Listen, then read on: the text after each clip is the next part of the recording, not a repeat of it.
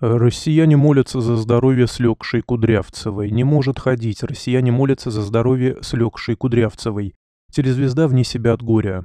Лера Кудрявцева написала в соцсетях обращение к поклонникам, полное боли и обиды, ведущая и так на грани развода с мужем, хоккеистом Игорем Макаровым, теперь на ее голову свалилась новая беда.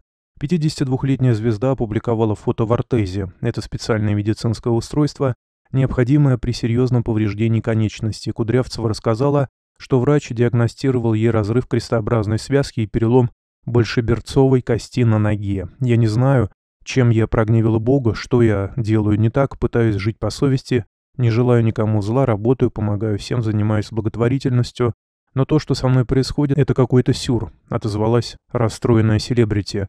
Что именно приключилось с блондинкой, пока неизвестно, однако ходить в таком состоянии она не может, к тому же перелом существенно осложняет возможность работы на ТВ. Тем временем россияне молятся за здоровье народной любимицы. Под ее постом они оставили тысячу добрых пожеланий.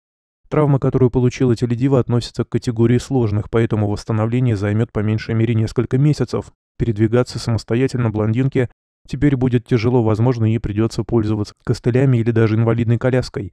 Происшествие буквально выбило ведущую из колеи, она пожаловалась, что не понимает, в чем провинилась перед Богом и за что он взваливает на ее плечи столько неприятностей. Ранее сообщалось, что Кудрявцева вывела на чистую воду телефонного мошенника, задав ему вопрос о принадлежности Крыма. Позвонивший телеведущий мужчина представился сотрудником правоохранительных служб и заявил, что против женщины было возбуждено уголовное дело о госизмене.